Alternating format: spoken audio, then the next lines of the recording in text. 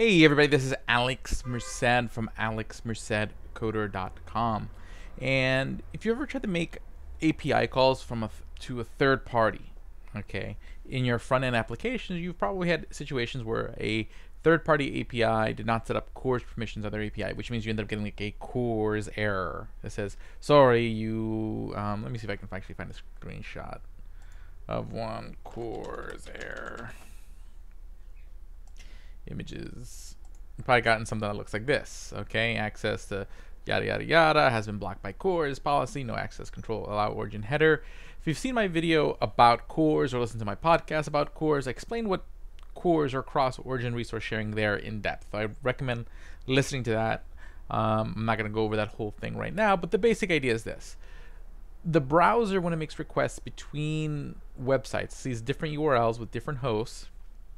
Okay, and so you're looking at sort of this part. So if they if this part doesn't match the the website that's making the request to the part that they're requesting, if these that part doesn't match the host, it um, then expects it makes what's called a pre-flight request, where it says, "Hey, let me just check to see if uh, I'm allowed to make a request here."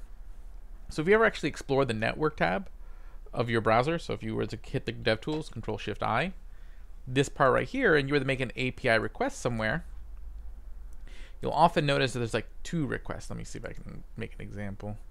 Um, okay, actually, let me do this. Shift I. Refresh the page. Let's see if I can get to do the thing.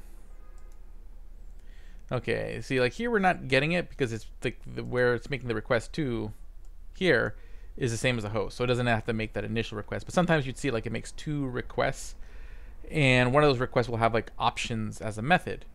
That's the what's called the pre-flight request, which means it's not finding the right headers. That's when it knows there's a problem. So that fails and then it doesn't even bother to make the second request. Um, so if it's a third-party API though, the, the place where you're supposed to be making these CORS headers that prevent this error is on the API itself. So if it's not your API, there's nothing you can do about it and that's usually by design. They don't want you making, they either don't want you making a request to their API without permission, so you have to like pay, uh, get the right kind of security clearance to have them add you, or they just don't want you making it in the front end because even if you get an API key from them and you expose your API key in your front end code, someone can just go into your code. So I can go right over here to your source code and like, you know, find all the stuff, you know, that makes up your code. Okay, and I can find that API key or I can go into my network and see the requests that were made in your website, and I can find the API key and then access your, basically access that API as you. So it's a security issue. So they'd probably rather you not make requests to their API from your front end code. Okay, so the way to get around the CORS error is through what's called a proxy server it's not really a special type of server or anything. It's just the idea is that you have a server to communicate with other servers. That's why it's called a proxy server. Proxy always just means a middleman. So that's what I'm going to talk about today. So instead of me making the request in my front end code, I'm going to make the request in my back end code. So what I'm going to do is I'm going to go to my Express folder where I have, uh, there we go, uh, where I have way too many projects already, but we'll make another one. Um, I'm just going to make an empty folder. I'm going to show you how simple this can be. Proxy server.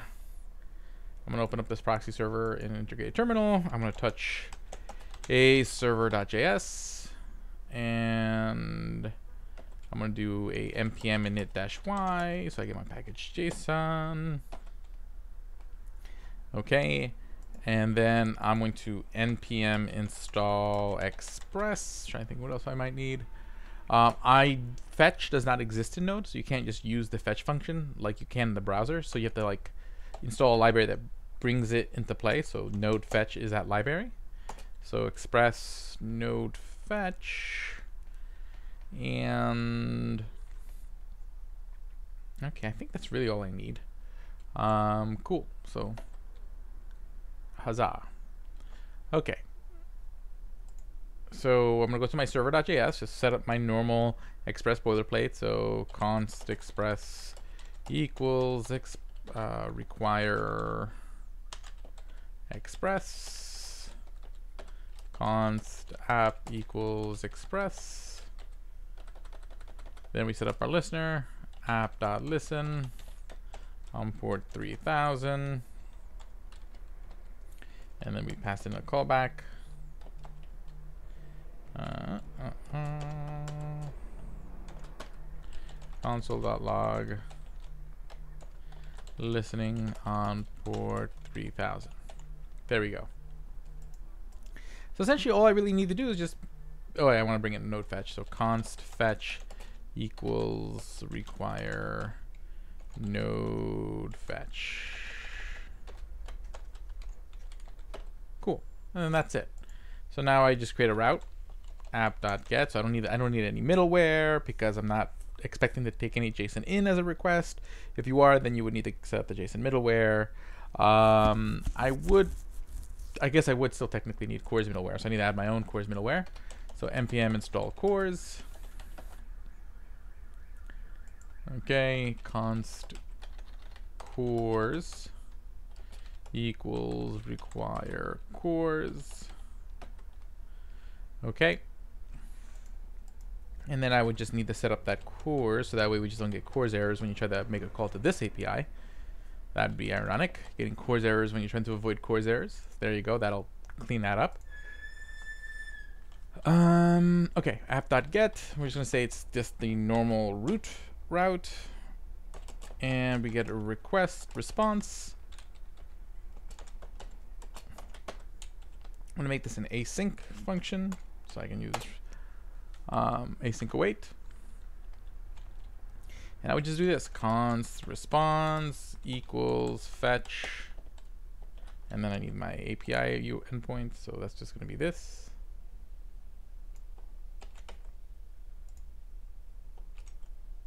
It's got to be a string.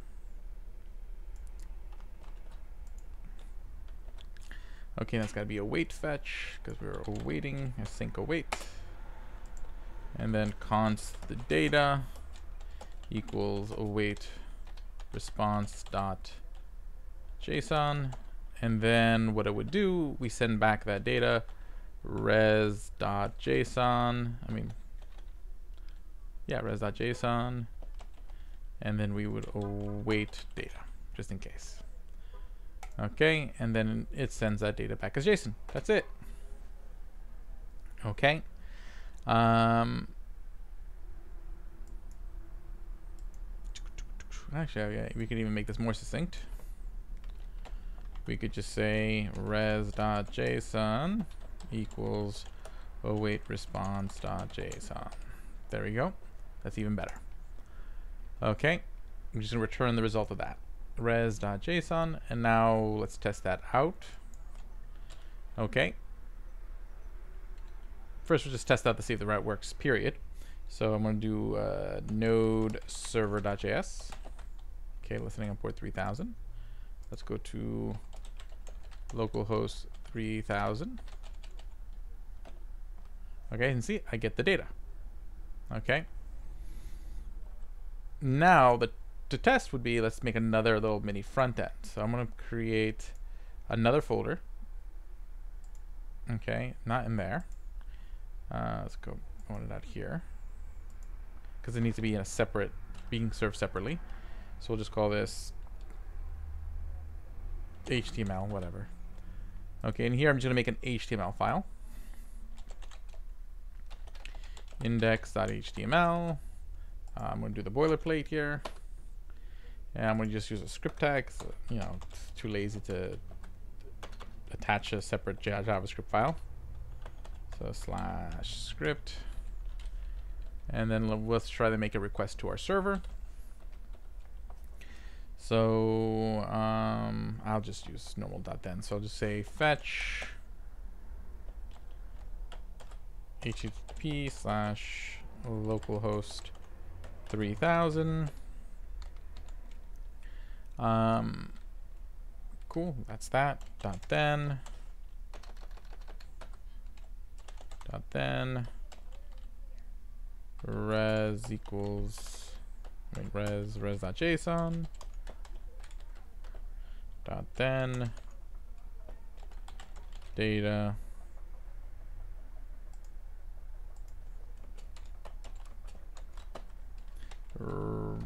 console log the data. Okay, so now we have that. I'm gonna open this up with live server. Let's see if that works. Okay, let me open up the DevTools, see if we get that console log. Failed to load resources. Server responded with a bad 404. Well, but hey, we got the data. See, it's right there. So this is, oh, this is the favicon. Okay, yeah, there's no favicon. That's fine. But see, the API call was, it worked. Okay, in that case, we avoided the CORS error. For, like, if JSON placeholder were, were to give us a CORS error, we would avoid it because the request to JSON placeholder then come in through the browser. So the browser wouldn't actually check for CORS headers. I mean, the our web server wouldn't check for CORS headers, so it would just the request would just go through. So our Express server makes the request to um, our web server makes the request to to JSON placeholder, and then our front end, this index.html, makes a request to our web server, and we have the data. So essentially, what all I have to do is deploy this server to, let's say, Heroku, and then I would just use that URL in my front end application, and ta-da! Okay, and I can, you know, you can design this in a way where it's like more adaptable, where you have to pass in the URL and all that stuff, so that way this can make any kind of API call. You can, you know, sky's the limit. You know, it's all a factor of your imagination. But that's essentially the idea behind like things like CORS Anywhere and other proxy servers. All it's doing is you're making a request to a server who's making another request on your behalf. Um, so again, there's the JSON placeholder API my Express server is making a request to the JSON placeholder API. And so when my index.html makes a request to localhost 3000 where my Express server is running, this route gets hit. It makes the request to JSON placeholder. It receives the response from JSON placeholder. It parses it as a JSON object, then sends it back out to um, my front end, and my front end receives it. That's it. That's all it is. That's all a proxy server is.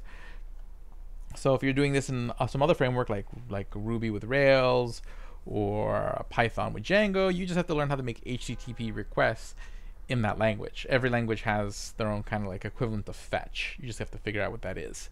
Um, and you just do the same thing. Okay, so in Python, you would just fetch the data, send it back as a dictionary. That's their object equivalent. In Ruby, you would do a thing like fetch, and then you would get back and you turn it into a hash, which is their like object equivalent, and uh, you go from there. So my name is Alex Merced from alexmercedcoder.com.